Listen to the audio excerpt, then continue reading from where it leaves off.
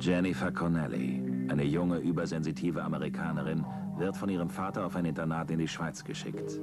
Dort erlebt sie Nacht für Nacht das Übersinnliche hautnah. Und das Grauen überfällt sie. Unerklärliche Vorfälle spielen sich in diesem Internat ab. Und Jennifer steht im Mittelpunkt des Geschehens. Das Böse ergreift langsam Besitz von ihr und treibt sie zu Handlungen, deren sie sich am nächsten Morgen nicht mehr bewusst ist. Von allen Internatszöglingen für geisteskrank erklärt, flüchtet Jennifer sich in die Abgeschiedenheit der Natur und wird allmählich eins mit ihr. Eines Abends wird sie durch den bestialischen Mord an einer Mitschülerin jäh aus ihren Träumen gerissen.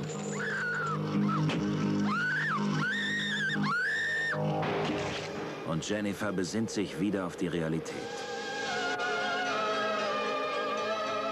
Phänomena. Ein Film, der das Übersinnliche und die Realität verschmelzen lässt. des kleinsten Tierkörpers. Und diese Wesen spüren ganz genau, ob wir ihnen gut oder böse gesonnen sind. Ich bin Ihnen gut gesonnen, Professor. Ich weiß. Glauben Sie, dass Insekten mediale Fähigkeiten Ja, besitzen? es mag vielleicht schizophren klingen, aber es ist so. Diese Fliege mag sie, weil sie sie annehmen.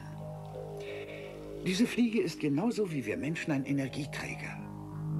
Projizieren Sie ihr Ihre Gedanken und vielleicht führt sie sie an den Ort, wo sich die Leichen der ermordeten Mädchen befinden. Mir stellt sich die Frage, ob der Mörder wirklich, wie die Polizei annimmt, ein Wesen aus Fleisch und Blut ist. Ich verliere langsam den Verstand, Professor. Das grenzt doch an Wahnsinn. Insektenschwärme überfallen das Internat, in dem sich das Böse versteckt hält. Ihr braucht für ihn keine Angst zu haben. Sie sind meine Freunde.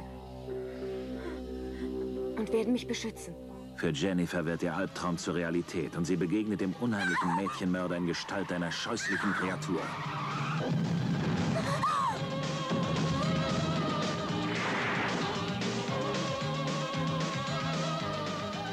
Dario Argento, der Erfolgsregisseur von Dämonen, präsentiert Ihnen seinen neuesten Psychothriller Phänomena.